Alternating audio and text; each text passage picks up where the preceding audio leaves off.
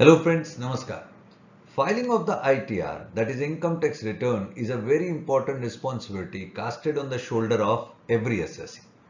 Through this particular responsibility, the assessee offers his income to the income tax department for a kind of assessment. Now the question comes that when you file the ITR, there may be some mistakes which are common mistakes which should not be there in your ITR. So through this video, I am trying to put up my views based on my experience in past that what are the common mistakes which are committed by the assessees while filing their ITR. And if you will take care about these mistakes that they do not appear in your ITR, then you are going to file an ITR which is a perfect ITR. So I must say that for the coming return season, coming ITR season for the assessment year 22-23, if you are going to take care about this particular video, then you are certainly going to get benefited a lot. So my dear friends, let me come straight on the point from the point one, which I am trying to put up before you, that generally it is seen that there are mistakes at the part of assessees in claiming incorrect deductions or exemptions in their return. Say for an example, are you sure about the amount of the deduction which you are claiming in ITR may it be a deduction under section 80C for the investment like LIC premium, PPF contribution and are you also sure about the exemptions which you are claiming in the return say for an example HRA exemption. See these deductions and exemptions should be as per the provisions of the law not only with reference to the quantum but also with reference to the genuineness. I give you an example. If we claim deduction under section 80G and in such a situation wherein you have contributed to an organization where you are allowed to claim 50% of the donation amount as deduction. Suppose by ignorance you claim that particular deduction under 100% category. Then what will happen? Nowadays, the trusts are required to report the donations in form 10BD. If that form is filed by the relevant trust to whom you have donated under 80G and that is matched with your ITR, naturally the department may find that the trust was allowed to give 50% donation related receipt but you have claimed 100% donation. So you should be careful that you are claiming the proper deduction, you are claiming the proper exemption because such kind of mistake if found subsequently by the department while processing the return or during the course of an assessment then you will be liable to pay not only the tax of the difference but you will be also liable to pay the interest and penalty to the income tax department. So this is first mistake which I wanted to bring into your information. Now I will move further. Now I come to the second mistake which I have generally noted that while claiming the home loan benefits, you must be sure that whether you are eligible to claim the relevant amount of interest and principal related deduction of a home loan in ITR. Say for an example, if you are claiming deduction of interest under section 24 clause B and you are claiming principal related deduction under section 80C, are you claiming it as per the final interest principal certificate or you are claiming it as per the provisional interest principal certificate of the relevant financial institution? Because usually while we submit the detail to the employer that is as per the provisional certificate and by the time we are filing the return there may be some changes in the final figure. So you should reconcile that. Similarly, you should also see that you are claiming home loan related interest benefit only in relation to a property of which you are an owner or a co-owner. So if you are not at all an owner, then how you are claiming the deduction? Yes, I may add, if you are claiming home loan related deduction in relation to a property which is in your spouse name and wherein you are contributing the installment amount, then I don't see any problem. You can be treated to be deemed owner and then you can claim the deduction of such particular properties interest principal in your ITR. But if you are not at all a contributor to the EMI, you are not at all a contributor to the asset and you are claiming the deduction of such house property related interest principal in the ITR, probably you are doing a mistake. So these are the important points or the mistakes which should not occur in your ITR. That is a suggestion. Now I bring before you another important observation in form of mistake which is found that while you are filing an ITR, have you duly reconciled your ITR with Form 26AS? And rather, if I step up one step more, I would say, have you reconciled your ITR with the annual information statement? Many a time it is seen that when an assessee files ITR, he or she might have not matched the figures of the ITR with what figures are reported in Form 26AS.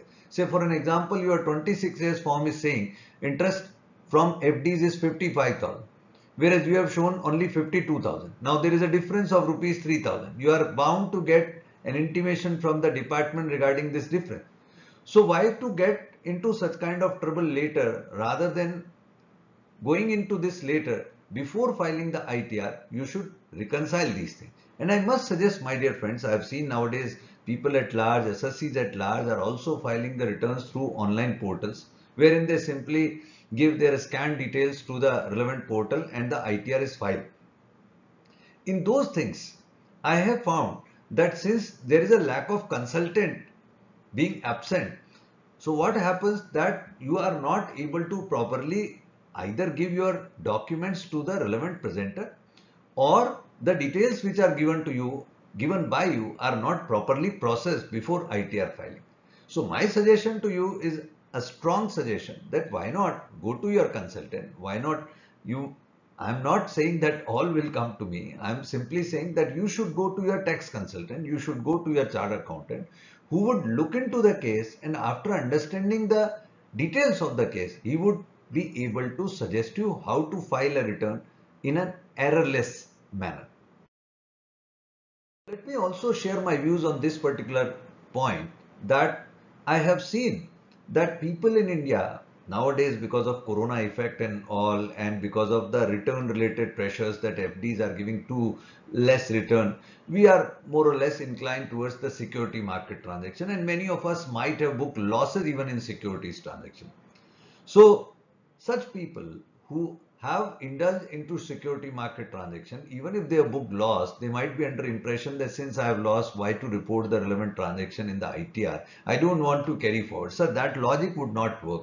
In your annual information statement, you may see security values transaction, sales values are duly appearing. So I must suggest that even if you have loss or you have profit, then you should rather than filing ITR 1, file ITR 2 as an individual and duly report the profit or loss in the ITR.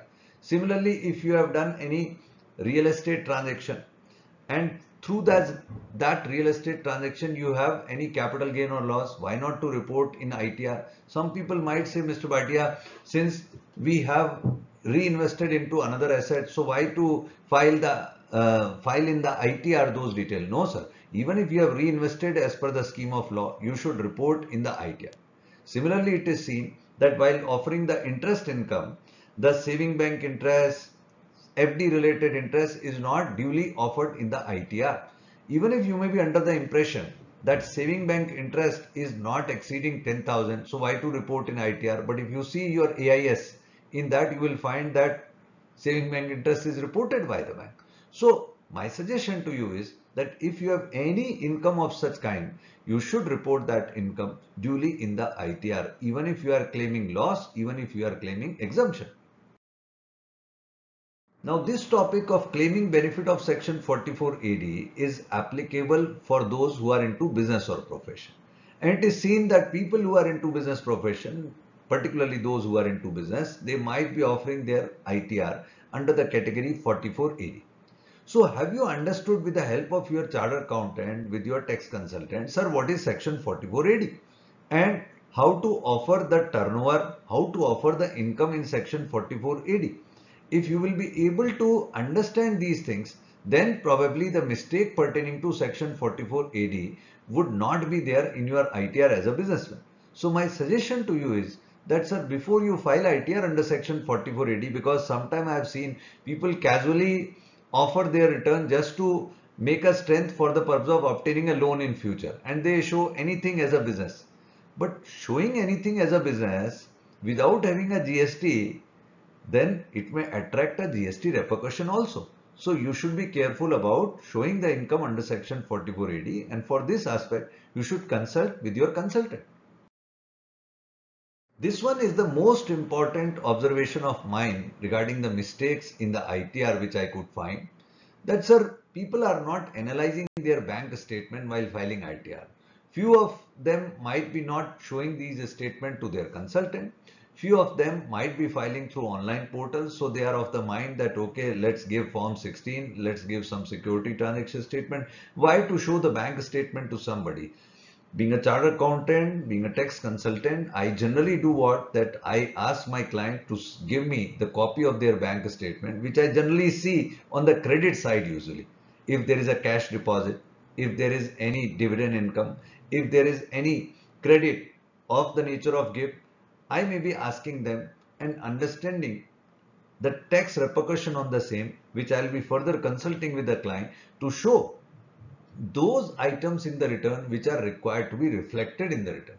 So sir, my suggestion to you is before filing ITR, please analyze your bank statement properly in the context of income tax law and if such consultation happens to be with the professional, that is a better approach. Now let me put up before you some other mistakes which are also forming part of these common mistake, ignoring clubbing provision. If there is a minor son or daughter and they had any income which is required to be clubbed in your hands, if you are ignoring that, that is a mistake. Wrong application of set off provision, sometimes it is seen, ideally it should not happen, but long-term loss being set off against the short-term gain, these mistakes should not be there. Claiming relief under section 89 without filing form 10E if you have received any arrear of salary and in that case you are claiming relief under section 89 of income tax law, you should duly file form 10E. If you are not doing that, then your return would be stuck in the processing and a demand may be created. Claiming benefit of new slab rate without filing form 10IE. If you are claiming a new slab rate benefit, then form 10IE should also be filed before due date expiry of 139.1. Reconciliation of income tax and GST turnover is a very, very critical aspect. Many a time I have seen, sir, that people don't reconcile their GST turnover with the income tax turnover. And if that is the mistake which is found by the income tax department, either they will report it to the GST department or they will ask you that look in GST you had following turnover and in income tax you are giving this turnover. So why not the relevant addition should be made? So you should be cautious on this kind of error even. I know my dear friends and you may also suggest me some more mistakes which may be prevailing. But the most common one which I could find out for the benefit of public at large, I have suggested here and since the season is coming for ITR filing for the assessment year 22-23. So I thought why not create such kind of thing which should prompt the assessees at large to file their ITR to the extent in a correct manner. I hope you will all get benefited through this video. Thank you very much for being with me. Wishing you all the best. Jai Hind.